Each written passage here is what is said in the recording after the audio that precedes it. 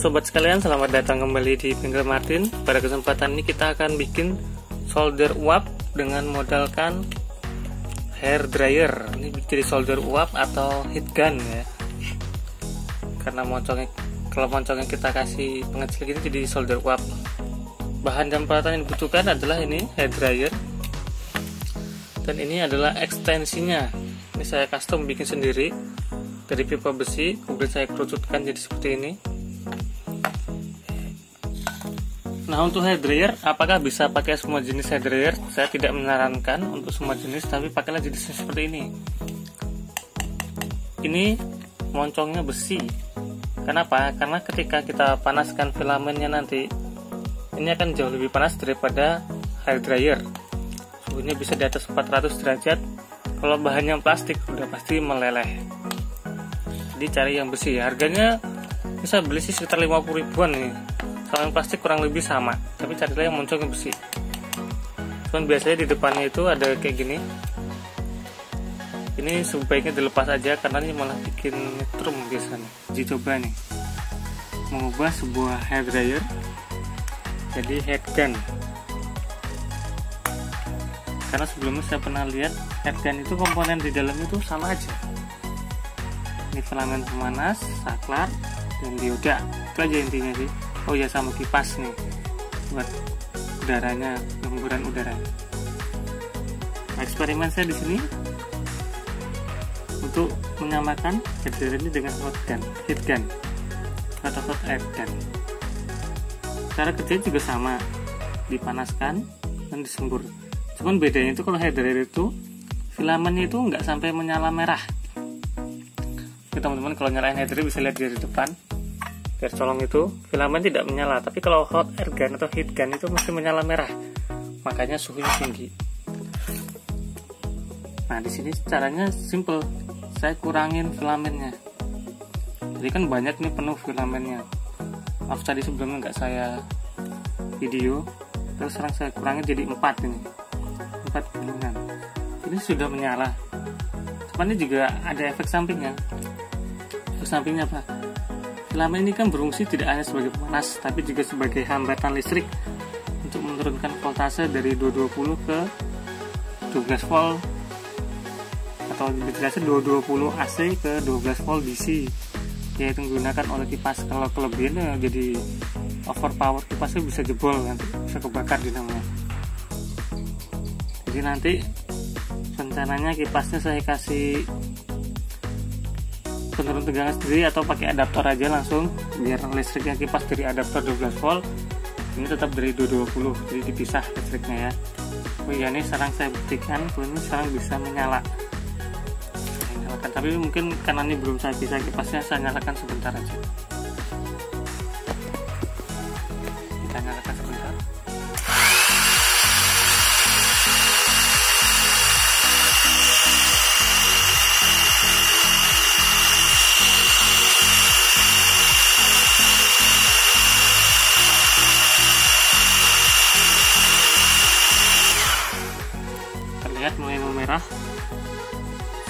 lebih lanjut atau sebelum mencoba memperhalus saya lepas dulu kipasnya nih kalau kipas itu berhubungannya sama dioda.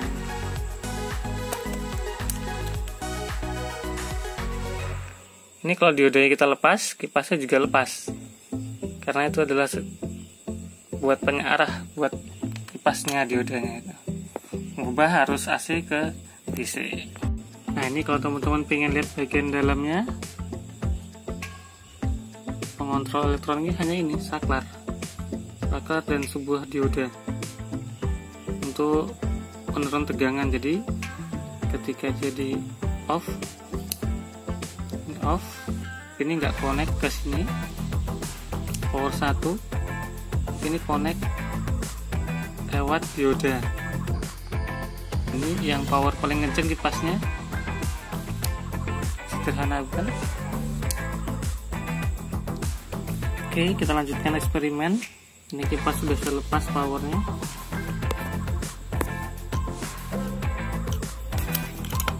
Ini tadi kabel yang konek ke diodes ini saya lepas supaya langsungkan ke elemen. supaya saya bisa pakai power keduanya tanpa harus menyalakan kipas nah untuk fungsi pemutar dinamo saya kasih kabel sendiri ini ambil langsung dari pangkalnya jadi ini mengabaikan dioda nanti saya kasih ke bawah.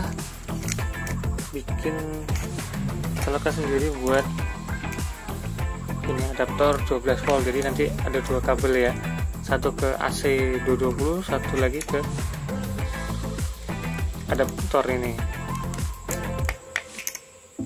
Jadi ada dua listrik nanti ya masuk. Listrik buat dinamo sendiri dan listrik rumah biasa 220 ke filamennya. Oke saya kita rapikan dulu ini rangkaian kabelnya di dalam serapi mungkin. Di bawah jangan lupa dipelintir biar kuat terus keluar.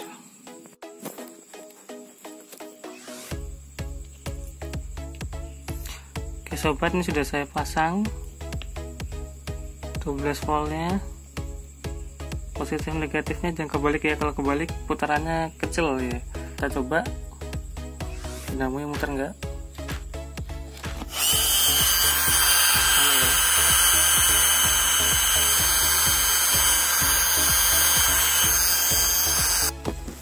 jadi dengan metode ini kita buat kipasnya selalu dalam posisi max powernya. Jadi kalau di sini putaran kedua berarti ya. Tapi kalau elemennya tetap bisa kita atur. Satu atau dua panasnya. Tapi kipasnya tetap kipasnya tetap maksimal kecepatannya. Sekarang kita coba nyalakan semua kipasnya dulu. Oke. kemudian filamen pemanasnya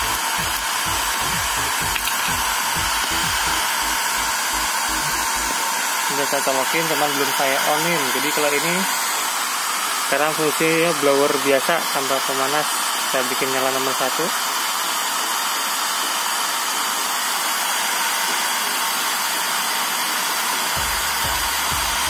Ini. Kita coba nomor dua wow pijarannya panas banget. Nomor satu aja saya yakin udah cukup lah. Ini saya yakin udah cukup kalau buat ngolder ya. Ini kalau mau memancing pakai nomor 2 selanjutnya kita tutup dan modifikasi.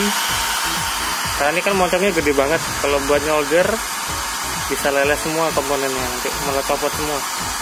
Ini harus diperkecil oke ini saya sudah selesai. Masang lagi merakit jadi satu lagi.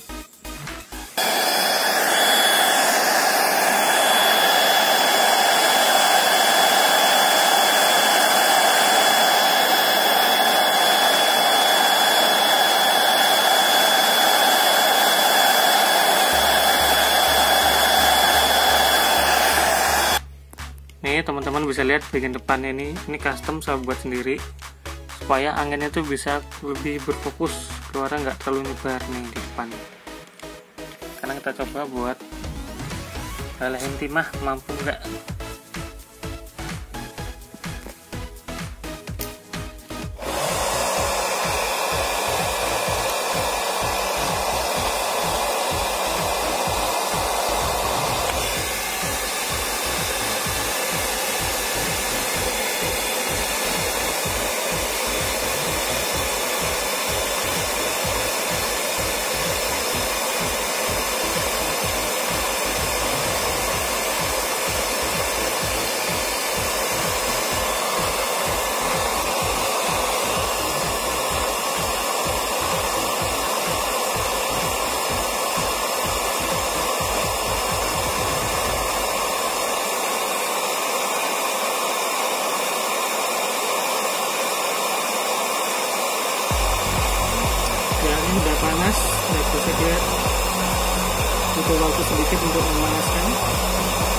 leleh aja? Ya.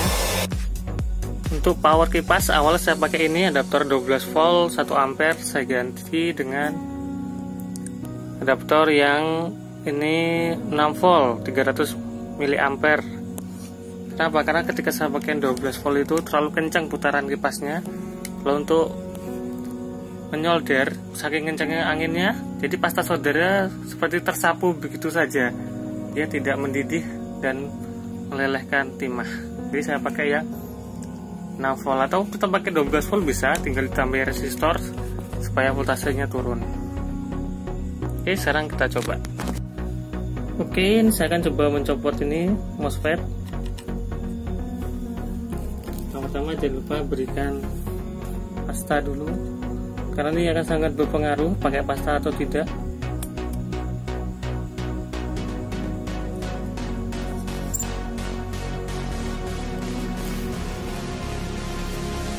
lupa kita juga perlu nih cepitan insert saya nyalakan dulu kipasnya kemudian pemanasnya.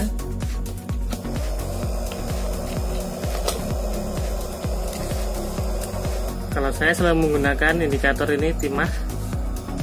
Kalau jeda panas diginin aja leleh nih misalnya. Oh itu artinya udah panas nggak bisa digunakan untuk melepas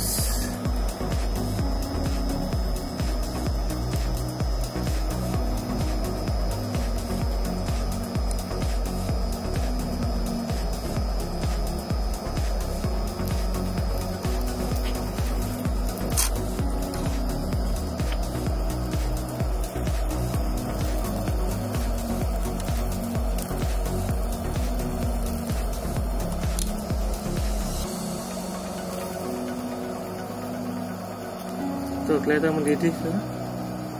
itu kalau nggak pakai pasta susah banget itu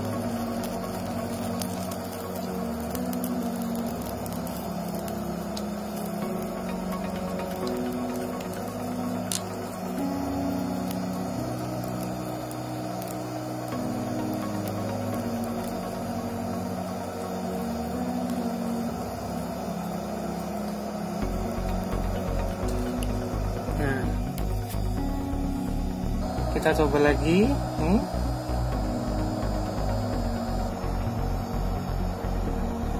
ini kita coba melepas lagi yang lain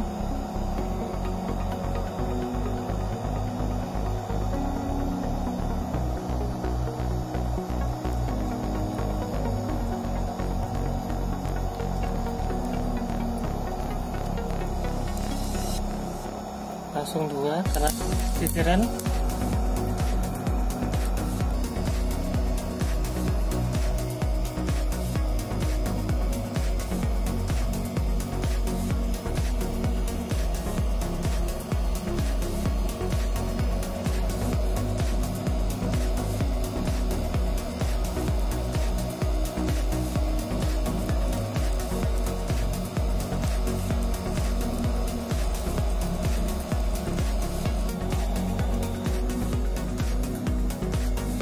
jadi inti perubahan dari sebuah dryer ke solder uap itu adalah kita mengurangi panjang filamen sekitar satu putaran.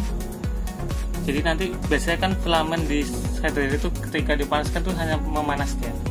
Tapi begitu kita kurangin dia akan merah menyala. Dan itu nilainya jauh lebih panas daripada sebelumnya. Kemudian kenapa saya bikin ini sendiri powernya? Karena saya mau pakai hair dryer yang sudah diubah ini power 2 untuk filamennya tanpa hambatan. Namun putarannya yang kecil supaya bisa melelehkan dengan lebih baik. Oke sobat demikianlah tips singkat dari saya untuk merubah sebuah hair dryer menjadi solder uap atau heat gun. Terima kasih sudah menonton. Bila ada masukan silahkan sampaikan pada kolom komentar di bawah ini. Nanti kita bahas bersama Jangan lupa dukung kami lewat like dan subscribe supaya channel ini makin berkembang. Juga boleh share ke teman-temannya kalau menurut kalian video ini bermanfaat. Dan saksikan video-video menarik kami lainnya hanya di channel ini. Oke, saya Martin dari Bengkel Martin. Sampai jumpa pada video-video kami berikutnya. Banyak tahu, banyak bisa.